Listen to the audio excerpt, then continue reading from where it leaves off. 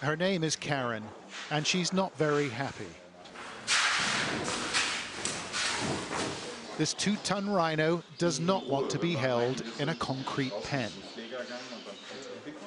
But an international team of scientists have picked her for an extraordinary experiment. And if successful, Karen may save a species from extinction. Yeah, anesthesia is always dangerous in these kind of animals, and in rhinos um, in particular. Frank Göritz is a scientist with a steady hand, and we found him getting ready to knock the rhino out. Ready? Let's go. He fired two darts filled with sedative at a spot just behind Karen's left ear.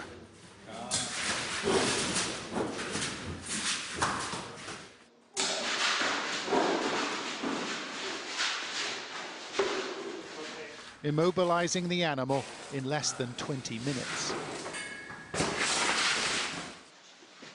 Then the scientists got to work, trying to turn this rhino into a mother with fertilized eggs or embryos created in the lab.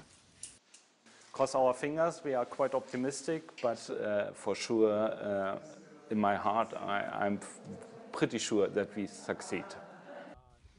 The future of the northern white rhino may depend on it. It is one of Africa's most magnificent animals, but after decades of poaching, they are effectively extinct. Sky News filmed the last male, called Sudan, just before he died in 2018.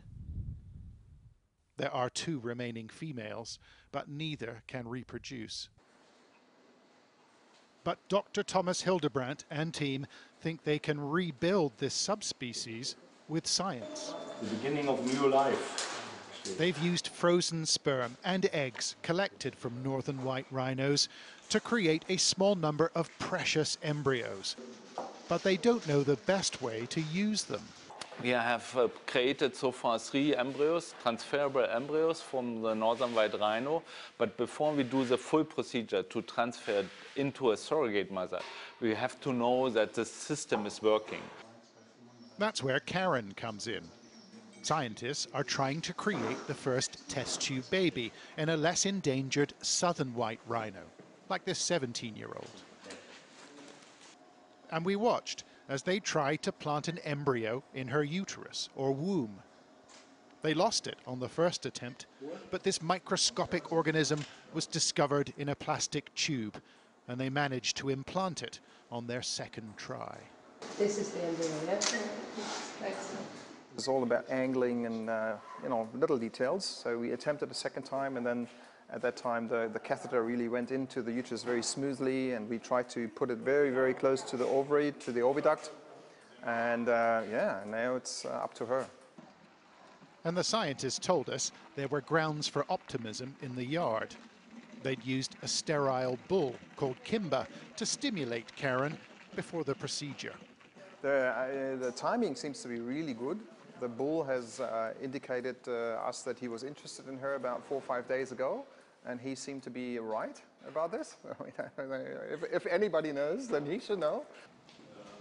However, Karen has taken a different view of the proceedings.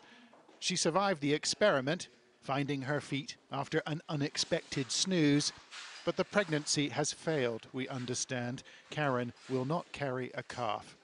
And the scientists must find another way to resurrect the northern white rhino. John Sparks, Sky News.